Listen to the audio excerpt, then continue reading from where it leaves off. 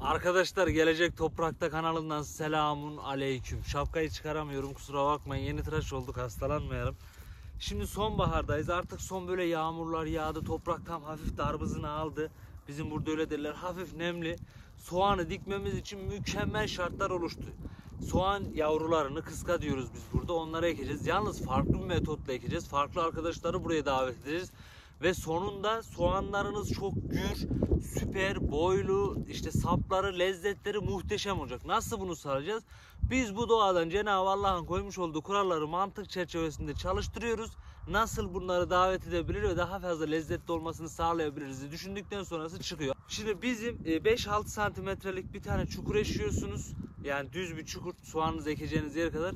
Bunun altına bakın burası çok önemli. Bunun altına karton e, sereceğiz. Karton serdikten sonra soğanlarımızı dikeceğiz. Karton sermemizin maksadı şu kardeşlerim.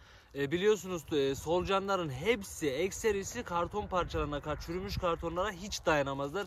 Onları yemeye gelirler arkadaşlar. Yemeye geldikleri zaman da ne olacak? E, solucan gübresini otomatikmen kendiniz elde etmiş olacaksınız. Hem solucanları besleyeceksiniz, solucanlar da size geri dönüş olaraktan muhteşem soğanlar almamızı sağlayacak. Dikim tarzı var arkadaşlar. Çok sık dikeceğiz. Bunu yeşil soğan için sık dikeceğiz ki birbirlerini mesela burada bayağı bir rüzgar var. Rüzgardan dolayı yıkılmasınlar, gür olsunlar, boylar uzun olsun diye. Eğer siz bunları e, kelle soğan olarak yapmak isterseniz de onu seyrek dikersiniz.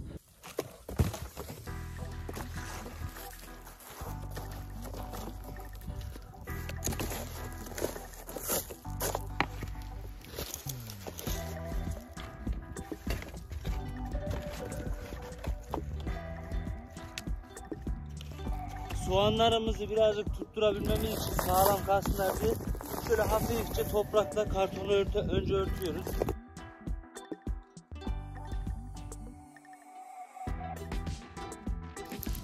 Şurası baş kısmı kardeşlerim. Buradan yeşil soğanlarımız çoğalacak sivri tarafından.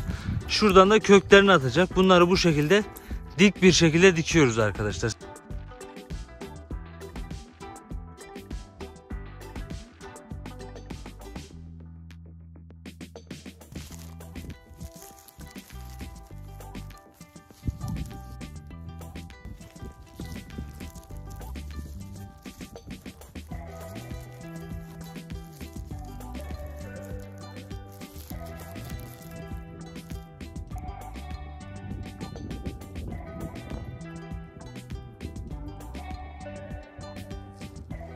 Arkadaşlar son olarak da toprakla üstünü hafifçe kapatıyoruz.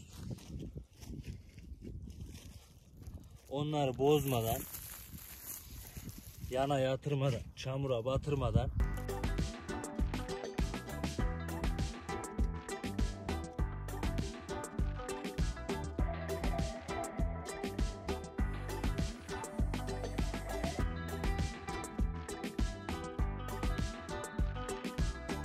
Şimdiden afiyet, bal, şeker, şifa olsun. Gelecek toprakta daha hiçbir yanlışın altına imza atmadı arkadaşlar. Görüşmek üzere.